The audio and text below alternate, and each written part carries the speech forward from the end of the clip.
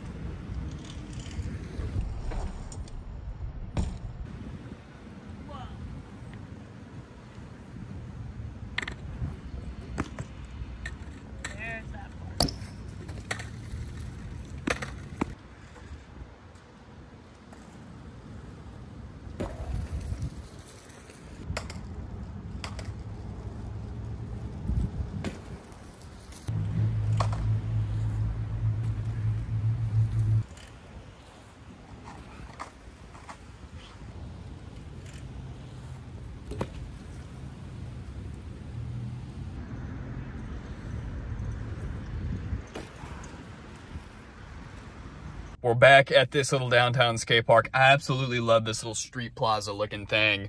Uh, we've got that big skate park just down the road, but this one is just so fun and easy to ride. Uh, anyway, I came back today to finish the video because I haven't done a tail in probably six months. So today I'm going to relearn them. I say relearn them. I'm going to just start doing them again, period. There's a perfect uh, little fly out bank you've been seeing me ride into grass, and it's pretty mellow and should be a nice pop. And I've got some pads on, so grass bank with pads, there's no fucking excuse. I'm definitely to do a tail whip. if I don't, shoot me.